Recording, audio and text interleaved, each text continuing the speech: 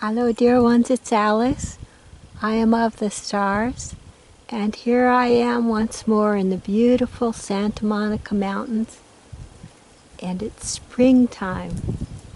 What more could anybody want?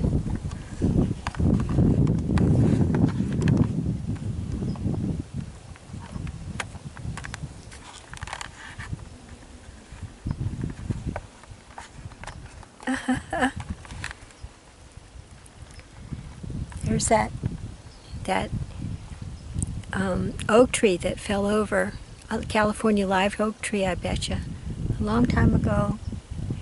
And um, I took a video near it some years ago. And uh, growing up there is a sapling oak coming right out of the roots of the old. Kind of like spring itself, isn't it? So today is the day of uh, spring equinox. Winter uh, solstice is the day um, when there's the most darkness compared to the daylight hours. And summer solstice in June is the day when there's the most sunlight, and that's a very glorious day. But the equinoxes, the spring and fall equinoxes, are days of equal day and night. And um, balance, peaceful, I think, very peaceful days. And that's the thing that I've noticed uh, in the last week or so leading up to this equinox is an increasing sense of peace uh, everywhere. Delightful, really. So I wish you, each of you, the peace and love and joy of this season, the springtime of hope for humankind. Beautiful days of new life on new earth. And not too much fighting and feuding either. I'm sitting under a live oak tree right now and there was just a big fight amongst the hummingbirds. They're very territorial, despite being extremely beautiful, and they just don't like when somebody else gets into their territory, so there was this huge fight. Quickly decided, thank goodness. so, um, and that's a thing that I've noticed lately, has to do with how important it is to settle our differences right away in a kind of a, not like the hummingbirds so, and not like law and order either. Right now, the important thing is to forgive everybody of everything that has happened in the past. Just say, I forgive you, and I forgive myself too for passing judgment and like that, you know. Passing judgment, wow, what a way to get stuck in karma.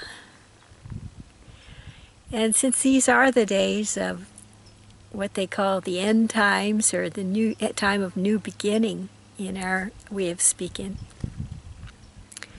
we can we can rest assured that the issue of judgment will be taken care of. We don't have to do any judging just because we're seeing things more cl clearly than we used to.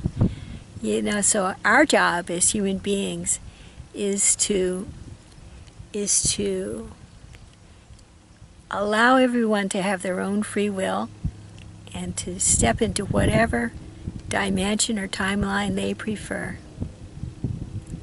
And to just and to just be glad that we human beings have this experience of free will. You know, have the ability to do that, to cheer each other on in that regard. So always to remember that if someone chooses a longer timeline, then they're stepping out of your timeline if your timeline is optimized. If someone chooses a dimension other than the heart, then they're stepping out of your dimension if you choose the heart, you see. And if someone chooses to stand um, for themselves and against all humankind, or for their family and against all other families, or for their group or nation or culture and against all other cultures. And these are not your choices. If you choose the all, then you can be sure that they won't be in your dimension anymore. It'll be a different dimension and a different timeline, for sure. So, so why not allow everyone this handily contrived ability to have free will and, and, and yet not influence my free will? You know, yet it's hard, you know, because culturally speaking, we have we have uh, become accustomed to the notion of law and order, and not to the higher law, the law of the heart, the law, the law of light and love. I was rereading lately the um, the Song of Anu, the Song of the Heart. It's on Judy Satori's website, uh, and it had an amazingly good effect on me. It was incredible, an amazing effect. Um, it it opened my heart up just like that. Those ancient Egyptians had a good notion about it. And um, and then, after my heart was like way open and full of joy and light and love, then I started hearing crowding around astral beings that were just taken aback by that light, you know. And lots of times, those beings they present themselves on the astral plane uh, in a way that is traditionally uh, out of favor with most religions. and uh, there were some some people in my community who were listening to this quite a commotion that was caused by the light of my heart, right? And they, and more more taken aback by the by the noises that they were hearing on the astral plane. They have all become so psi. It's incredible. All the people in the communities around everywhere I go, and um, and so some of them, you know, were of belief systems just didn't believe in the astral plane or didn't believe in the variety, the great variety of flora and fauna, the different kinds of beings on the astral plane. And so that was their first experience of what, uh, in the Christian religion, for instance, is called um, the hell worlds, the demon realms, and the, the places where Satan dwells and like that. Satan's not anywhere but here, you know. But when people feel the light of their hearts, when they feel Christ consciousness, or sing the song of, of the heart, or, or simply smile joyfully with everyone they meet, then the world, the opposite world, the anti love world, the, the way of hatred, is right in front of us and right within us, but never touches us. Isn't that something? You know? So, so that is all part of this third and fourth dimensional reality, but it we're partitioned off for it as the song of, of the heart says feeling the heart, feeling the love in the heart and the light of the heart partition us off from the darkness.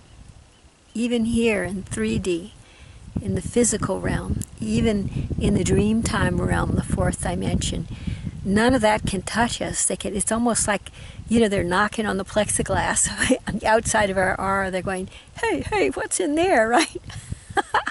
in their own inimitable way. so,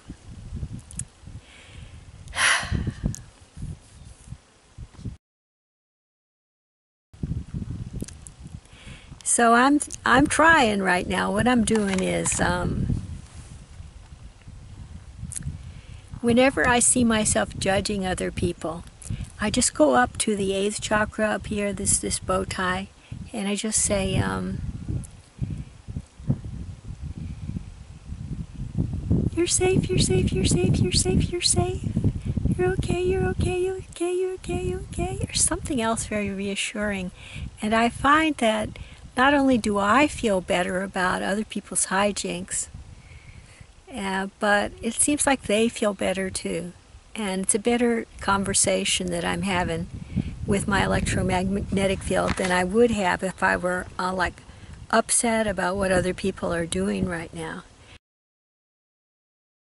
These are these are interesting times, and uh, I think the thing to do is to to just surf the waves of light that are coming in and be kind to our own hearts. Just be kind to our, our physical bodies, our emotional bodies, and our mental bodies, and just and just take time for ourselves so that so that our cells, our, our very body cells, will feel comfortable with this process of transformation. So that's all I have for you today. I'm wishing you the most happy, joyous, wonderful equinox and uh, another three months to come of beautiful light. Y'all take care. Love you lots. Bye bye.